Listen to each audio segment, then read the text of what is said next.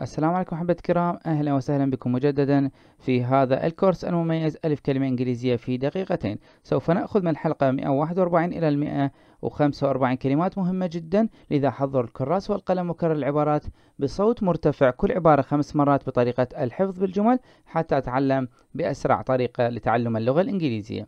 إذا استعد الآن وخلينا نبدي بحلقتنا لهذا اليوم. الكلمة الأولى عندنا كلمة claim. Claim مطالبة ادعاء أو دعوة أو شكوى. claim claim. أهم مرادفات كلمة claim demand assumption case complaint complaint. أحفظ هذه الكلمات أيضا. demand assumption case complaint. إلها معاني أخرى لكن هنا تأتي مرادفة لكلمة claim اللي هي شكوى أو مطالبة. Claim خلينا ناخذ أمثلة حتى نتعلم كيف نستخدمها إذا المثال الأول عندنا he claimed he claimed that he came from a wealthy wealthy ثري wealthy educated educated family educated متعلمة family عائلة he claimed that he came from a wealthy educated family. اقرأ معي الآن. He claimed that he came from a wealthy educated family. ممتاز. قرأتها الآن بالطريقة الصحيحة. أيضا تذكر أن يكون عندنا بعد اختبار بعد فترة قليلة لذا استعد جيدا واحفظ جميع الكلمات. He claimed that he came from a wealthy, educated family. تذكرة اضغط على like و subscribe وفعل زر الجرس حتى تحصل على جميع الدروس مستقبلا حين نشرها مباشرة. ونحن نضع الكثير من الجهد والوقت لذا لا تبخل علينا بالإعجاب وال subscribe الاشتراك معنا ومشاركة هذه الدروس لجميع أصدقائك. نروح للمثال الثاني على كلمة claim. Who wants Who wants to claim this? من يريد المطالبة بهذا؟ Who wants to claim this? عندنا الكلمة اللي بعدها راح ننتقل لها الآن. كلمة class.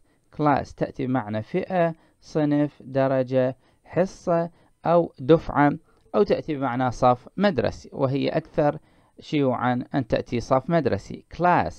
Class. إذن خلنا ناخذ مرادفات كلمة class. Category category. Degree kind. Season school room كل وحدة إلها معنى مختلف بعض الشيء لكن هنا تأتي مرادفات كلها لكلمة class وحسب معانيها المختلفة. حاول أن تحفظ هذه العبارات بالتكرار بصوت مرتفع أيضا. Class class. خلنا ناخذ أمثلة على كلمة class.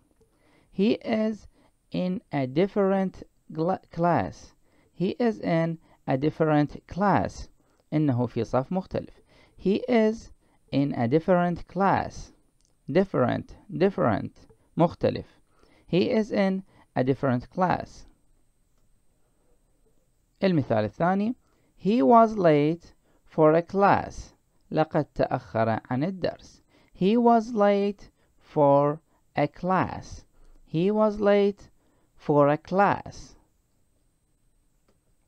كلمة الثالثة اللي عندنا من أصل خمس كلمات كلمة clear clear clear صافي واضح رائق أو تأتي بمعنى أزالة أو نظف clear clear مرادفات كلمة clear fine obvious plain remove remove. إذن كلمة clear clear مثال أول Her handwriting was clear كان خطها واضحا hand writing hand writing her handwriting was clear her handwriting was clear تذكر تكرار الكلمات والعبارات بصوت مرتفع حتى تحفظها بشكل جيد her handwriting was clear it was clear to me It was clear to me what had happened. كان من الواضح لي ما حدث. اقرأ معي الآن. It was clear to me. It was clear to me what had happened. It was clear to me what had happened. It was clear to me what had happened.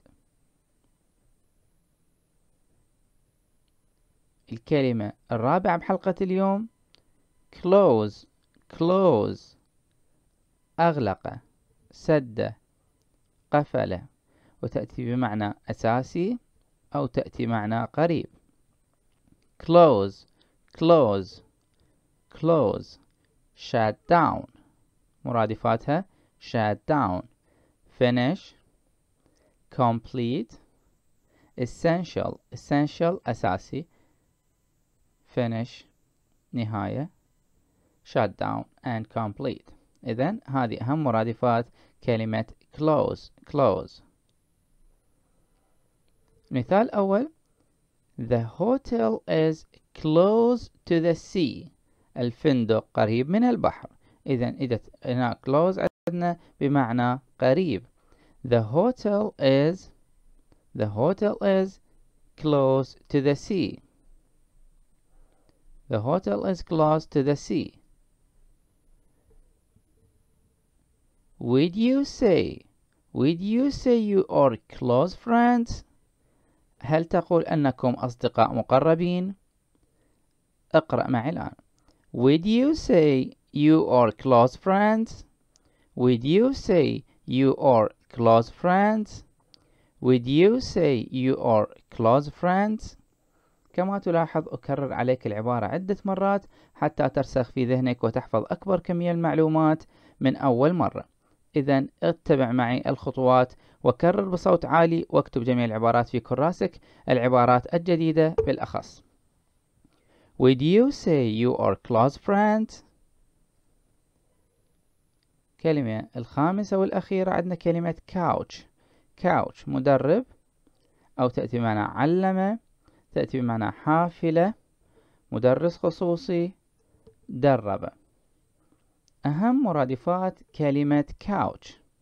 path path درب أو طريق. باص باص حافلة. wagon wagon. أيضا حافلة وعربة قطار. educate educate.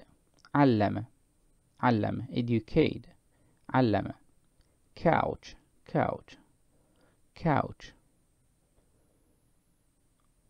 ناخذ أمثلة على كلمة couch He has couched his brother He has couched his brother for six years درب شقيقه لمدة ست سنوات He has couched He has couched his brother for six years He has couched his brother for six years ممتاز مثال الأخير والجملة الأخيرة بحلقتنا اليوم ركز معي جيدا الآن He teaches history and couch football يعلم التاريخ ويدرب كرة القدم اقرأ معي الآن He teaches history He teaches history and couch football He teaches history and couch football ممتاز انتهينا الآن من حلقة اليوم. انتظرونا بالمجموعة الدروس الجاية اللي هي من الدرس 146 إلى 150